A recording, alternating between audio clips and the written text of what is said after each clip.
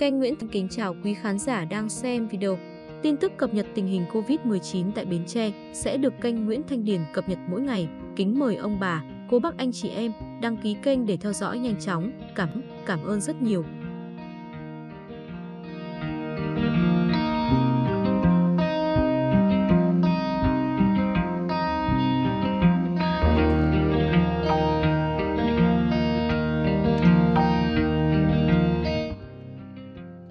Bến Tre nhận 20.000 liều vaccine AstraZeneca.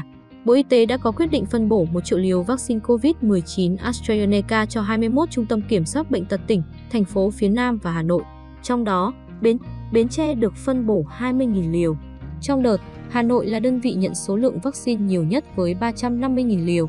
Tỉnh Đồng Nai, Bình Dương, Tiền Giang có số liều cao kế tiếp với 100.000 liều mỗi tỉnh. Số liều lần lượt phân bổ ở tỉnh Long An 74,9 nghìn liều, thành phố Hồ Chí Minh 80.000 liều.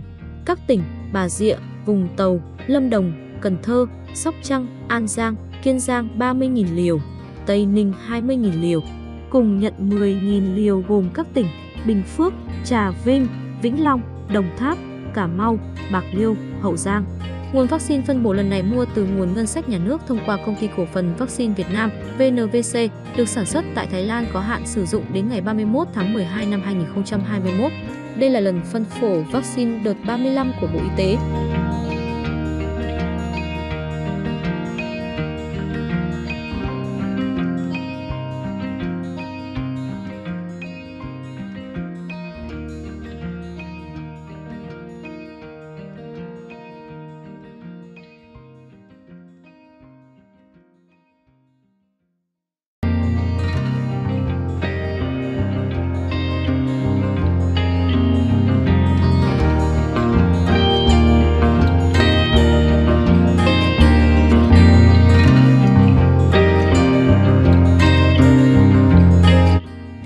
Nhật tình hình Covid-19 tại Bến Tre sẽ được kênh Nguyễn Thanh Điền cập nhật mỗi ngày. Kính mời ông bà, cô bác anh chị em đăng ký kênh để theo dõi nhanh chóng. Cảm ơn rất nhiều.